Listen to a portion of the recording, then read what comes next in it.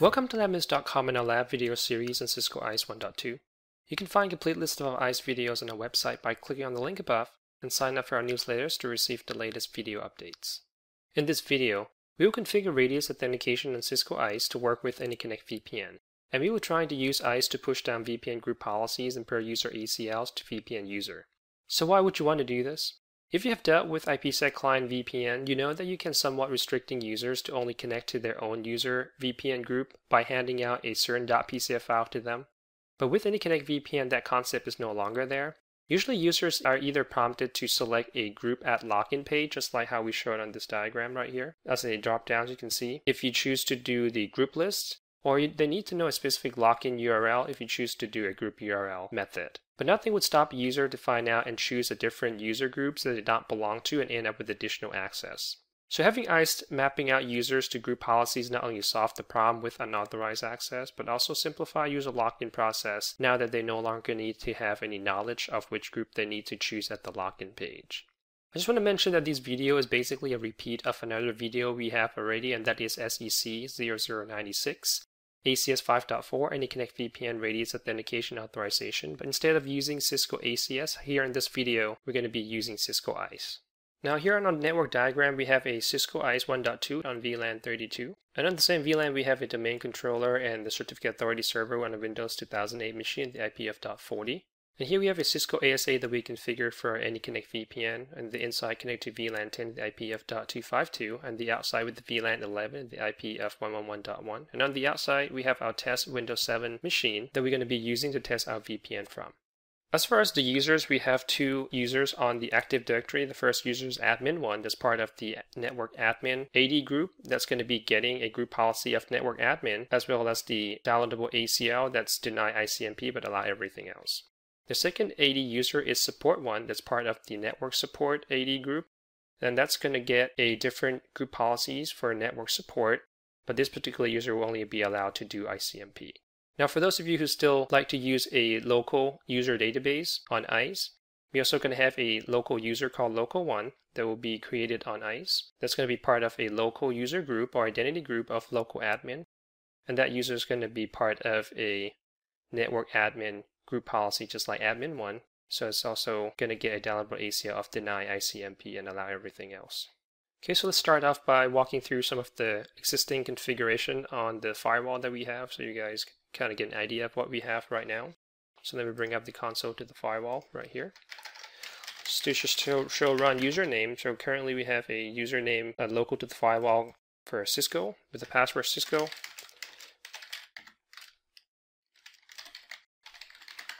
And then we have our IP local pool for our IP address of the VPN users. To show run access list, we have a split tunnel access list on our VPN that allows a connection to anything that's 172.16/16. Uh, and we have our web VPN or AnyConnect VPN enable with a image for our Windows. And currently we have a tunnel group list enable. And here we have a list of our tunnel group that we're going to use initially. The first one is the network admin, and we also have the second group, which is the network support, and that's, you can see here, it maps to the corresponding group policy as well. And each of these has a group alias for our group list. And then if you look under our group policy, we have our network support that will be tunneling everything. And we also have a network admin group policies that has a split tunnel with the ACL that we just saw. And both of these groups also has the AnyConnect client enable as the default type of uh, VPN. Okay, so next let's try to do a quick test from our test PC out here with what we have configured already. So let me bring up a web browser. And the IP or the outside IP of the firewall is 1111. Now you can see here, since we are doing a group list, you see we have, or the user has an option to pick either one of the group. And just use a Cisco Cisco. First we're going to try network admin accept certificate. And since we already have a AnyConnect client kind of installed, although you can initiate the connection from the web login, we can see it, ends up connecting or established a VPN on the AnyConnect Mobility or Secure Mobility client itself. And now currently we are connected. So if you're trying to ping, let's say, our Windows 2008, which is 32.40, Let's see, it doesn't look less pingable, so let's see what IP that we got is 162.16.11. Let's make sure our switch has a route to that. Okay, and we do. Let's look at our route detail. You can see we got our split tunnel. There you go. Maybe we just didn't wait long enough there. Actually, I went through in the last ping, so we know that's good. Okay, so ping the switch. So that's for the network admin group policy. Next is trying to this time initiate the connection from the AnyConnect client itself instead of the web and connect.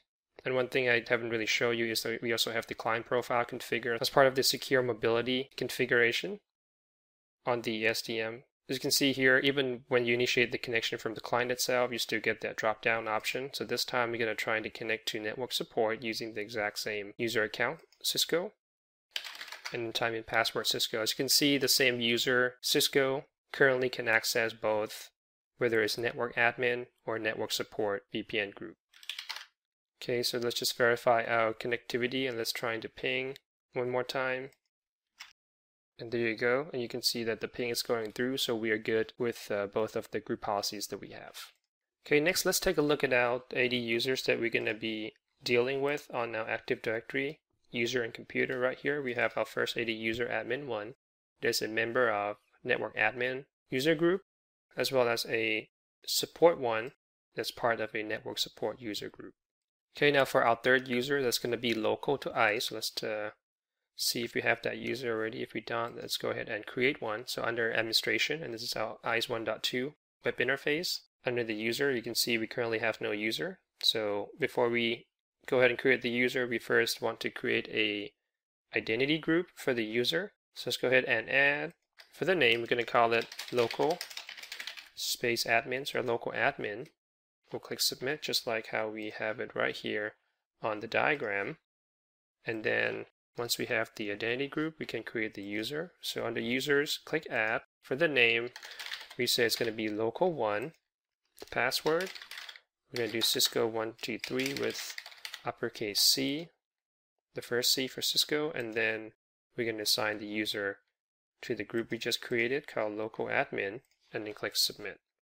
Since we're going to be utilizing the Active Directory user group, we need to make sure that first of all, we still have a good connectivity to our AD. So under external identity store or sources, click under Active Directory and we currently connected or ISE is currently connected to AD. And let's verify under group and we currently has no user group so we need to add those at least for our network admin and network support so we're going to retrieve the groups and then scroll down trying to find right here with network admin and network support. We'll click OK. Now it's added. It's going to save the configuration. Okay, next we need to add our VPN firewall. So ISE knows when the radius request comes in, it can process it. So under the administration, again, similar to the user, we're going to first have to create a network device group so we can distinguish the request that comes in and know when it comes in from our VPN firewall.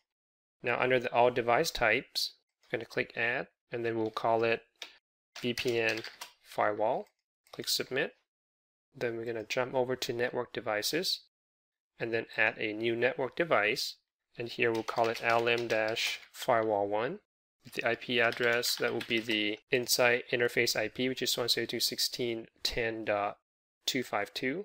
So .10.252, we'll leave the location default, and then for the device type, it will be VPN firewall. For authentication string or radius key or secret, we'll use just Cisco. To show you, that's just a simple Cisco. We're not going to do SNMP settings, so we're going to click submit. Okay, and going back to our diagram here, we said two types of downloadable ACL that will be pushing down to the user. Is one is for deny ICMP, and the other one is for ICMP only. So now we're going to create a policy elements or downloadable ACL for that. So that would be under policy element results and under authorization. Downloadable ACLs, we'll click add. And the first one, let's do the no ICMP or block all the ICMP. It's, let's give it a name VPN-no-ICMP. And for the DACL, it will be deny ICMP any any and then permit IP any any. Make sure you click the check the syntax. As long as the syntax valid, we'll click submit. And then we'll create one more for ICMP only. And that would be VPN-ICMP-only. The ACL will be permit ICMP any, any. Okay, check and then submit. Now we're going to have to create the authorization profile that's going to utilize the downloadable ACLs and there will be two separate authorization profiles that we need to create for the two separate access for the VPN and the first one is going to be for the network admin. So we'll call it VPN dash network dash admin. For DACL will be VPN no ICMP as we specify right here with deny ICMP for network admin. And then we need to add a radius attribute that will allow the VPN firewall to place the particular VPN user to the correct group policy that we want. And that is a class attribute OU. You might have heard of this particular attribute already. To do that, here we go under the advanced attribute settings. And since it's going to be radius attribute, we have choose radius. And now we're going to look for class right here, type 25.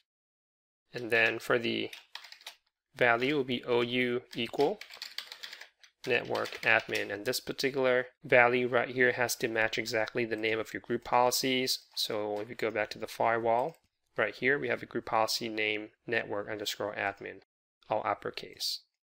Okay, so submit. Then we'll have to create one more for the VPN network support.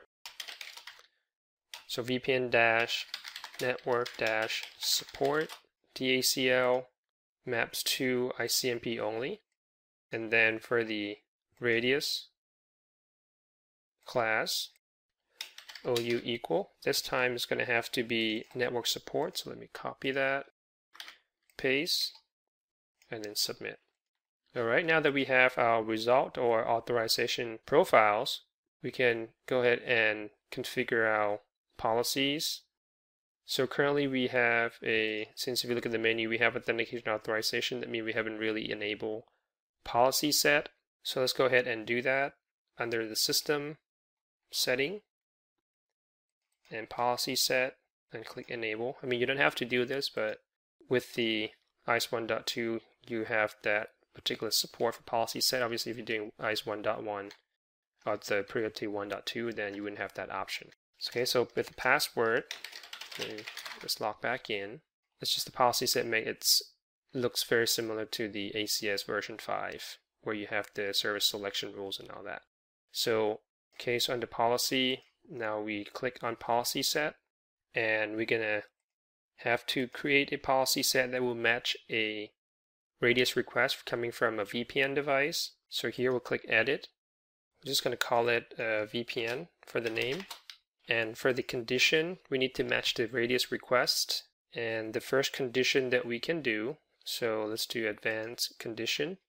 And we can match that based on the device type that we specified earlier for our firewall, and that would be under the device, device type. And we said we have a VPN firewall device. And to make sure that the radius request coming is for the VPN, we can also add another attribute value for the radius. Is something that I've already known in advance that the radius request coming in for the VPN, it's going to have a attribute called NASPort type, and that will be equal to virtual for VPN. Okay, so if those conditions are met, we're just going to continue down through this policy, beginning uh, starting with the authentication policy. Since we're just going to be using the same identity uh, source for all type of requests, there's no need to create a separate rule for that. It's just going to use the default rule. And then for identity source, we're going to use the one that we already created, the sequence.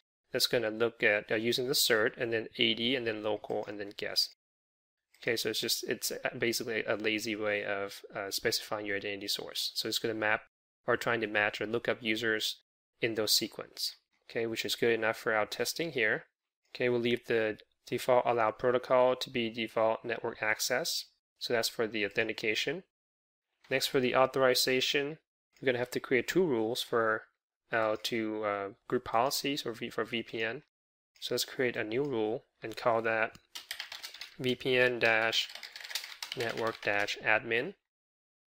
Okay, as far as our condition, it's going to be very simple, which is since we said it's going to be based on the AD group membership, so for our condition, we'll go advanced option, select attribute under AD1, here's the option for external groups and we selected two groups earlier under the external identity source for the Active Directory and here we have the network admin. Okay, so if you're part of the network admin on AD, you'll be matching this particular rule. And once that happens, we want to return a authorization profile of VPN network admin. Okay, so let's duplicate below. Instead of network admin, it's going to become a network support. And the external AD group this time is going to be network support. Make sure it's the correct one, network support. And we're going to change the authorization profile to VPN network support. Okay, now we're going to add one more rule for our third user, which is a local user that's part of a local admin identity group. So this time let's add a new rule below. And we're going to call that VPN dash local dash admin. And then to match based on a user identity group, you go under here and then choose your identity group, which is local admin. And then we said that we're going to give them the VPN network admin access. Okay, and then let's make sure that we don't have the catch-all permit. Instead, we deny by default. So here, change to deny access. Done. And click submit.